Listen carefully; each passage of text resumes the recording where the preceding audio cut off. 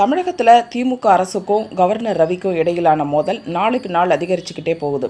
இந்த நிலையில் கவர்னர் ஒரு ரகசிய அறிக்கையை மத்திய அரசுக்கு அனுப்பி இருக்கிறதா சொல்கிறாங்க அது ஜனாதிபதி திரௌபதி முர்மு பிரதமர் மோடி மத்திய உள்துறை அமைச்சர் அமித்ஷா ஆகியோருக்கு அனுப்பப்பட்டிருக்கான்.